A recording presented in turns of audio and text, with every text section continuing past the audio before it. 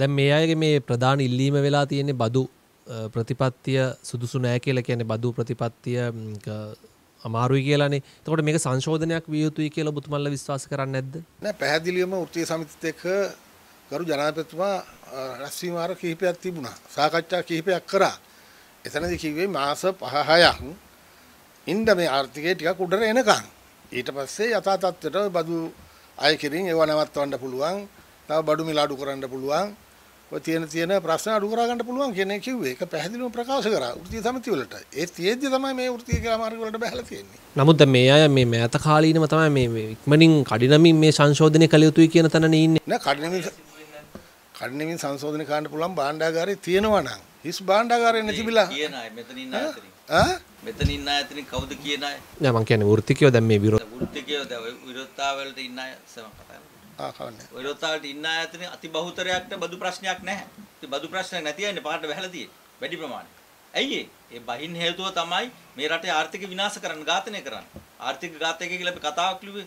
ඇමරිකානු ආර්ථික ඝාතකය ඒ වගේ මේ රටේ ආර්ථික ඝාතනය කිරීම උමනා මිසක් බදු ප්‍රශ්න දින අය නෙමෙයි මෙතන ඉන්නේ 75කට වැඩි ප්‍රමාණයක්.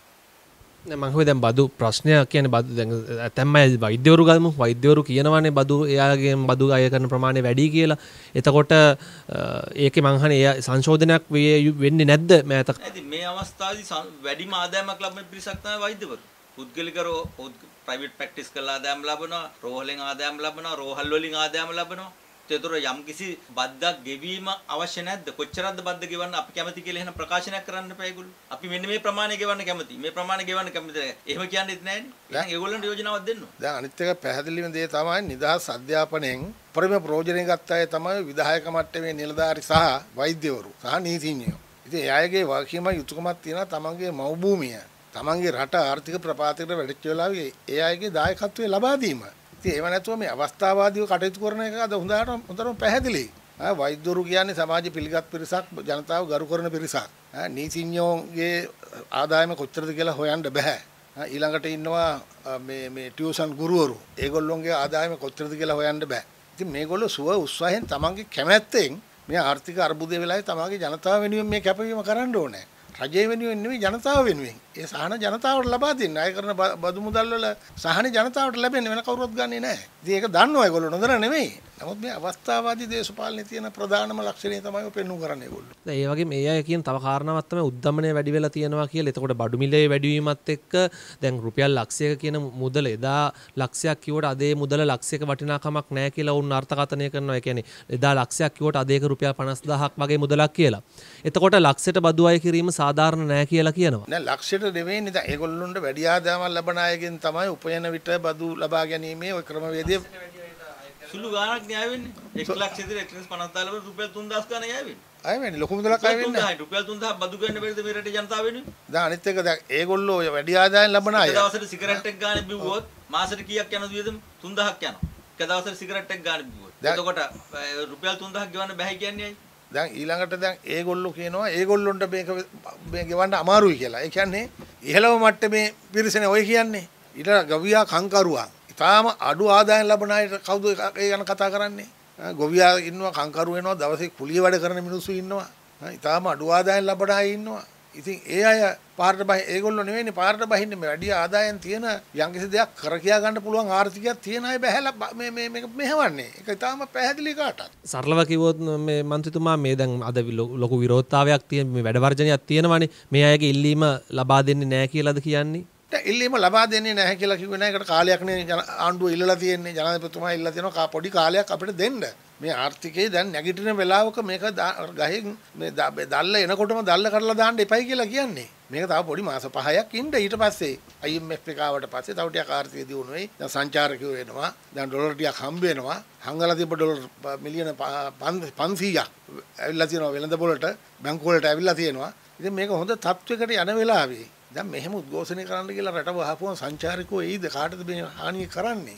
ඈ කෝ- කෝච්චි වැඩ කරන්නේ නැතිකොට බස් වැඩ කරන්නේ නැතිකොට මේක ස්ට්‍රයික් කරන වැඩ වර්ජන ක- කිය- කරන රටක් බවට ලෝකෙ ප්‍රසිද්ධ වුණාම ඈ ඔය වීසා අරන් තියෙන මේ රටට එන්න ලෑස්තිලා ඉන්න මිනිස්සු එන්නේ නැහැ සංචාරකයෝ. මේක මේ ර- එන ගහන අපරාධය රටට කරන්නේ මේ වර්ජකයෝ ටික මේ වෙලාවේ.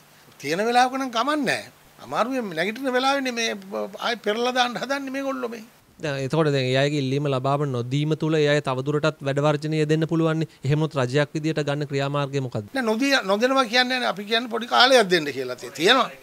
නෑ ඉන්නෝ කියන්නේ දැන් මම තිල්ලුවට තියෙන්න එපැයි. තියෙනවනම් දෙනවනේ. ජනාධිපතිතුමයි සාක්කුවේ දා ඉන්නවයි සල්ලි නැත්නම් ගෙදර ගිහිලා තියා ඉන්නවයි. ඒක තමයි මම අහන්නේ දැන් ඒ අය දීර්ඝ මේ තවත් ඉදිරියට මේ වැඩවර්ජනය ක්‍රියාත්මක කරොත් මොකද කරන්නේ? නැති ඒගොල්ලෝ කල්පනා කරලා බලන්න ඕනේ මේක කරන්න හොඳ නෑ අපි මාස හතරක් පහක් අඩු ගානේ මාස පහක්වත් ආණ්ඩුවට කල් දෙන්න ඕන කියන එක ඒගොල්ලෝ කියන්න ඕනේ ඉතින් එහෙම නොකිය එහෙම හිතන්නේ නැතුව මේ හිතුවක්කාර විදිහට දරදඩු විදිහට ජනතාව තල්ලා පෙල්ලා කරන රට තල්ලා පෙල්ලා කරන මේ වර්ජනයට මං හිතන්නේ කිසි කෙනෙක් සහයෝගය හම්බෙයි කියලා තව ටිකක් කල් ඔක කරන්න ගියොත් අනිවාර්යයෙන්ම ජනතාව මේ මේ වර්ජ කියන්නේ ඒ පාඩම ජනතාව උගන්නයි කියලා මම හිතනවා. ඒක හැබැයි ජනතාව විතු කරමුණ තේරුම් අරන් තියෙනවා.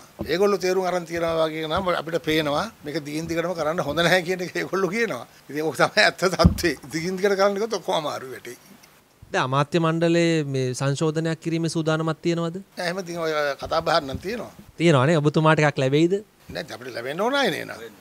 මම හතර පාරක් අනුරාධපුර දිස්ත්‍රික්කේ පළවෙනියා මම ජේෂ්ඨම ඉස්සරහ පෙළි හිටපු කෙනෙක් අපිට අර මේවා මේ ප්‍රශ්න මොනවද තිබුණා ඒ නෙමෙයි.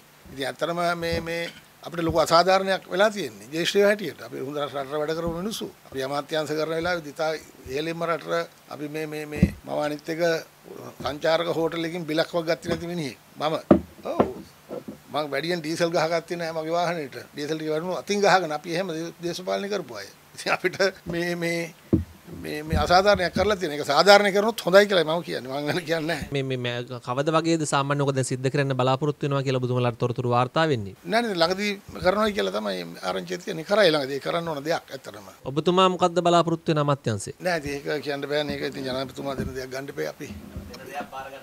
ඔව් ඉතින් දෙන දෙයක් බාර ගැනීම තමයි විනය කියන්නේ ඒකනේ. එහෙම විනයක් තියෙනවා අපි ළඟ. අර කෙල්ලලා මේ කෙල්ලලා අපි උද්ඝෝෂණය කරන්න යන්නේ නැහැ. ඒ වගේම අර හිටපු සභාපතිතුමා කියනවා තාම ලියුම ලැබුණ නැහැ කියලා. ජී.එල් පීරිස් මහත්මයා. නෑ ජීඑල් පිරිස් මහත්තයා ලියුම් 1000ක් කරියත් ඒක හම්බුන්නේ නැහැ කියලා තමයි කියන්නේ. එයා මහාචාර්ය කෙනෙක්නේ. එයා මහාචාර්ය පදවිය ඕවට තමයි දක්ෂයා. එහාට මෙහාට මාරු වෙන්නයි. ඒ වගේ බොරු කියන්නේ හරි දක්ෂ මහාචාර්යවරයෙක් තමයි අපේ රටේ ජීඑල් පිරිස් මහතුමා කියන්නේ. ඔබතුමා ආවේ නැහැ ක්‍රිකට් මැච් එකට නේ. නෑ නෑ අනේ මම ගියේ නෑ මැච් එකට. මම මම මේ මැච් එකට කැමති කැමතිත් නෑ ඇත්තටම.